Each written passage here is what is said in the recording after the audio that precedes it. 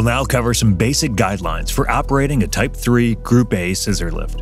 For this training, a Genie GS 2632. First, you'll do a site inspection.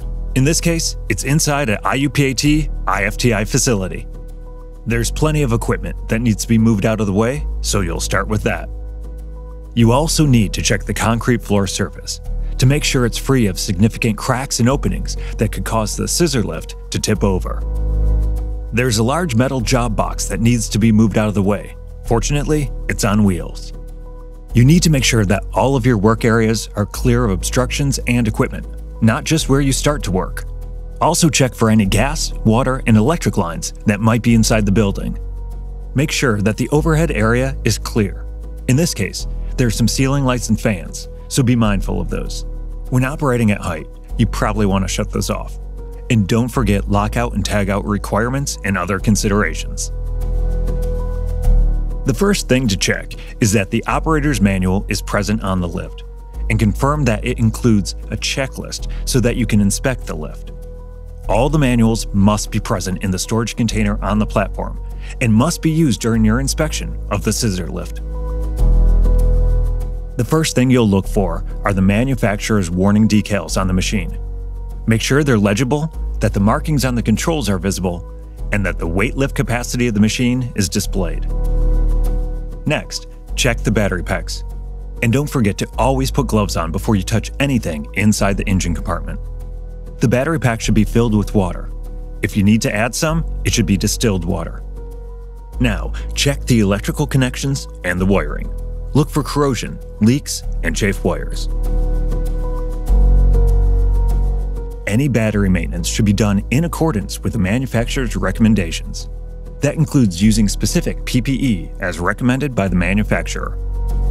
The next thing to do is check the lines for hydraulic leaks, check for proper oil level, and make sure the machine is filled with hydraulic fluid, which has to be checked against the fill mark when the lift is all the way on the ground that forces the hydraulic fluid to flow back into the reservoir. Inspect the lock pins in the machine. Make sure that they're all there and in place, and that there are no cracks. Turn the machine on with the key. When you turn it to the right, you can operate it from the lower controls. Turning the key back to center shuts off the machine. Turning the key to the left allows you to operate the lift from the upper controls.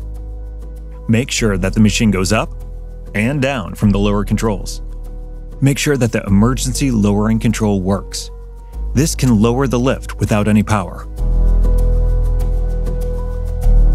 Also, check that the emergency brake release works.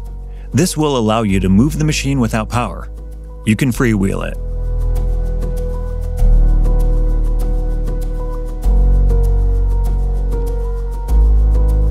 Next, switch the lower controls to the upper controls.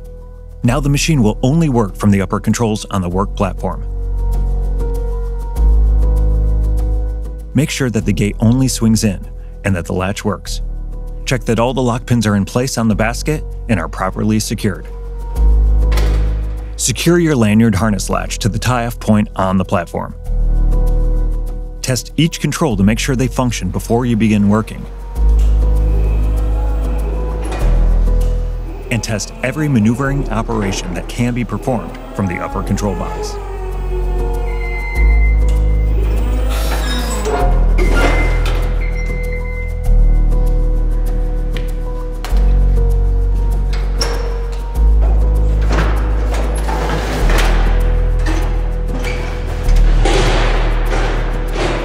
Make sure to put the manuals back in the protective envelope so they don't get wet and return them to the storage box on the operator's platform. Maintenance and repair manuals for the equipment may also be found in the operator's manual storage box on the platform. Now you're ready to get to work. You've cleared the ground surface of the area where you'll move the machine, but continue to look all around as you move the lift into place. That means looking up, down, and all around.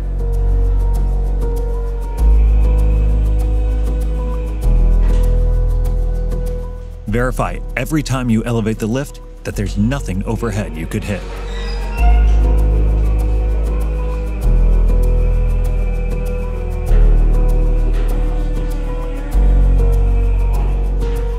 Once you get into position, it's good practice to hit the stop button and shut the machine off. That way the controls can't be accidentally activated while you're working. Extend the platform to reach the desired location and to elevate over objects or obstructions that are in the way. The platform locks in three different places.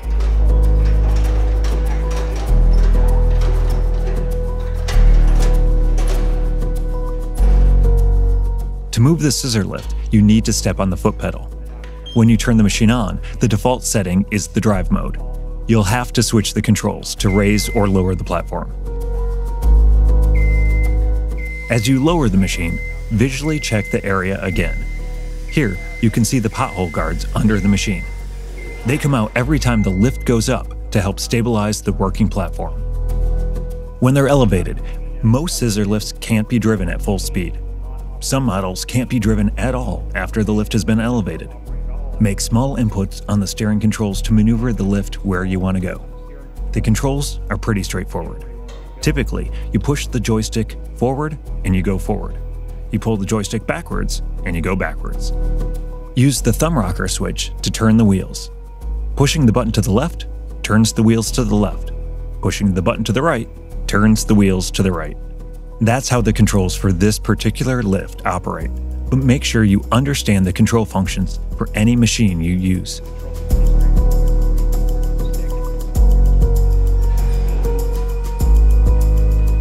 If you have to put your hands in the scissor area of the lift, for example, to inspect the hydraulic lines and pistons or look for debris on the lower pan, set the safety arm and then lower the machine down onto the arm. This will prevent the lift from accidentally dropping.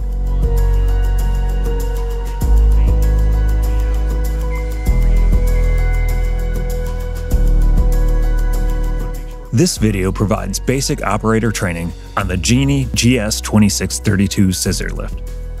Other scissor lifts may have different or additional operator requirements, equipment inspection procedures, a different location of operator controls, and different maintenance requirements. That means that other scissor lift training may be different from the training provided here on the Genie GS2632 scissor lift. But this lift is a commonly used model, and the safety tips we've given you here can apply to any model of scissor lift. Working at height can be dangerous, so the lift must always be operated within its allowable design specifications. Be aware of allowable slope, wind and weather conditions, and weight limits. As always, operate the equipment safely. Follow the manufacturer's recommendations at all times when operating a scissor lift. Use the lift inspection checklist before you start working, and follow the manufacturer's maintenance instructions for all repairs and maintenance on the lift. Do not exceed the safe load lift limit. Only use the equipment as it was intended to be used on flat, smooth ground surfaces. And don't work during inclement or excessively windy weather. We can't stress this enough. If you follow the manufacturer's recommendations, from the first day you operate these types of aerial lifts until the day you retire, it will help to ensure that you go home every day the same way you came to work. Thanks for watching, and be careful out there.